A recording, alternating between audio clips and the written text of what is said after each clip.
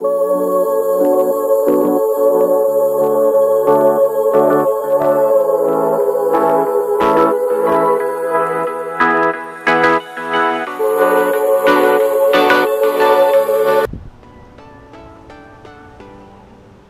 guys, welcome back to the channel. Today we are going to show you how to remove and replace the AC compressor on a Honda Civic, the generation from 2006 all the way to 2011. Right here we have this one 1.8 engine.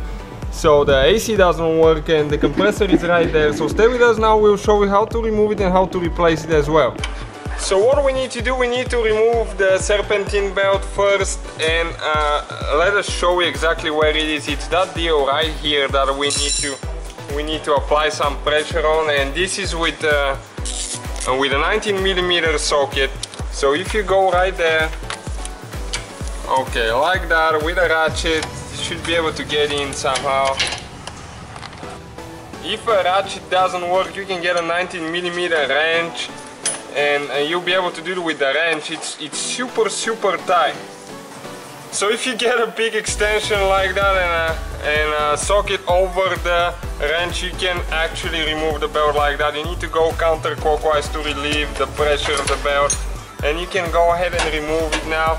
You can see it's off the alternator. That's the easiest part. And it's off the AC compressor down there as well. Now uh, we need a 10 millimeter socket and there is a few more nuts that we need to remove. As you can see that one there. We need to remove that's for the hose. One is low pressure, one is high pressure. That's the high pressure side that we're removing right now. Okay, it's right there.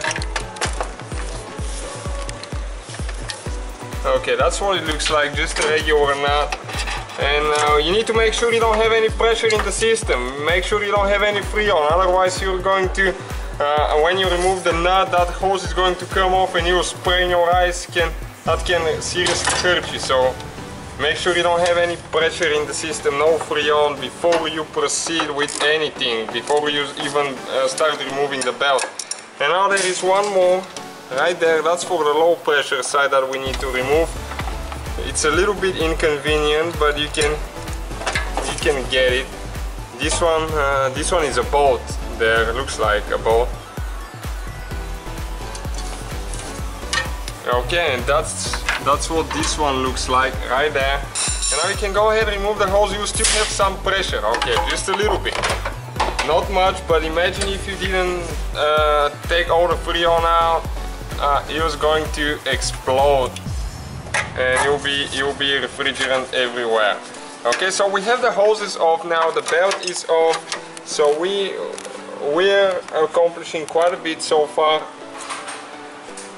Okay so now? Unfortunately the AC compressor will come out of the top. It needs to come this way but the alternator is in the way so we will need to just remove the alternator to the point that we can just flip it on top of the engine. We won't need to disconnect any uh, the whole thing.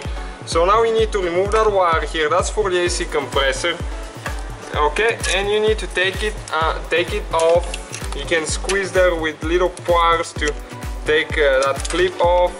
Sometimes they break like that, so you can use a zip tie if they break later and you can you can just go ahead and replace it with a zip tie because from the heat that plastic is really fragile and it, it really really tends to break. Okay, got this one off and now, uh, as you can see, we will just pull those out later and we will replace them with zip ties. And now we have uh, a few bolts that hold the alternator towards, towards the engine block and one of them is uh, right there, this one, that we need to, we need to remove. And it is with a 12 millimeter socket, so go ahead and remove that, uh, that bolt on top uh, they tend to be pretty tight, so uh, be careful not to hurt yourself because they can lose all at sudden. That's how they are. It's aluminum casting, so uh, they get really, really tight over time. And there is one more on the bottom right there, trying to get a really good view to show you. Okay, you can see where it is. That's the one holding the alternator on the on the other side as well.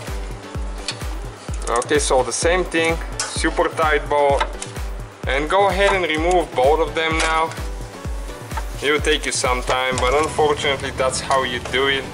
On that Honda Civic most of them you can replace it from the bottom and you don't you don't even need to uh, unhook everything. But on this one you have to remove the alternator first. Okay, so that's the bolt, one of them that we removed from this side there and now uh, we're removing that one here. And there is, I think, uh, we think there is one more, we need to double check again, make sure uh, so we do it right. Okay, and, and this one is a little bit longer, okay, you can see what it looks like, longer bolt. And now there is one more on the bottom in the, in the middle, kind of.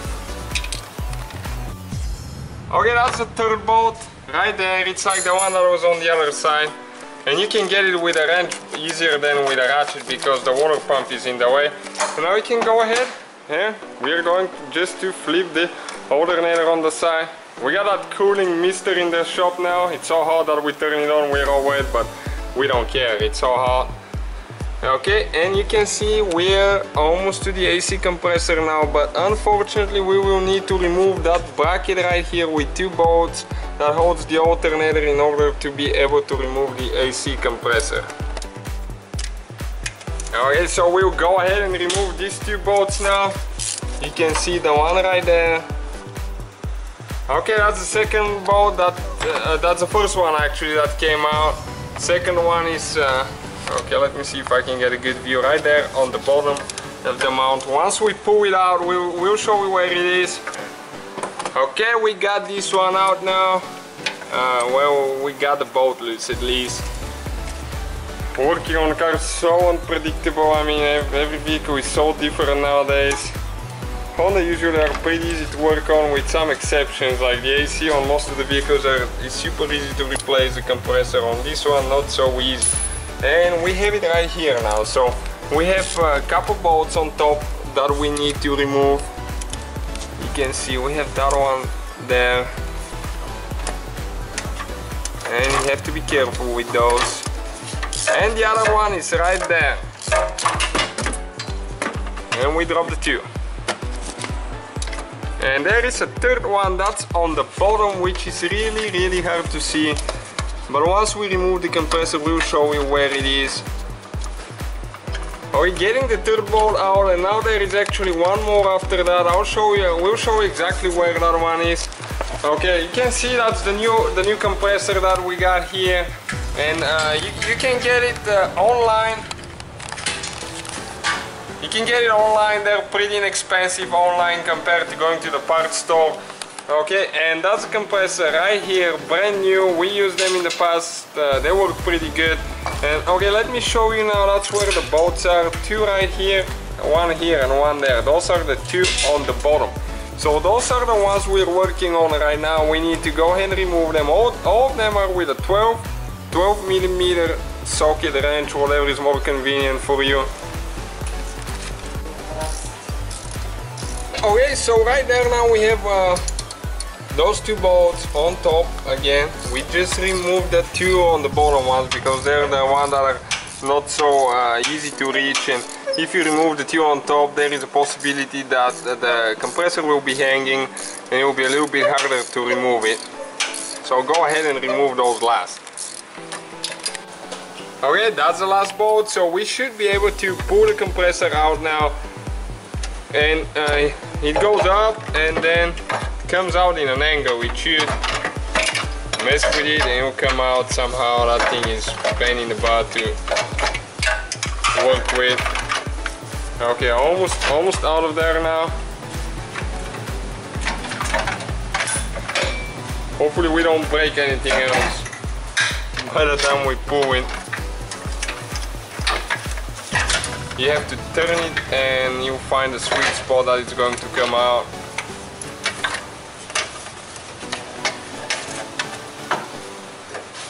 Okay, almost there.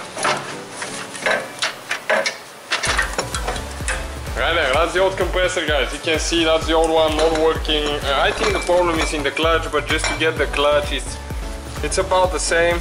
Same price almost as getting a new compressor. So we will definitely go with a new compressor. That's, that's the replacement one. Okay, right there now. and uh, it, it's, it comes with oil so it's already charged with oil so we, need, we don't need to add any oil. All we'll do is just add uh, refrigerant. So we'll have a video how to do that. And now you go ahead and put everything back together in uh, reverse order that we took it apart. Thank you guys for watching. Don't forget to check out our main channel as well. It's going pretty fast. It's in the description below. We have some uh, some really cool videos there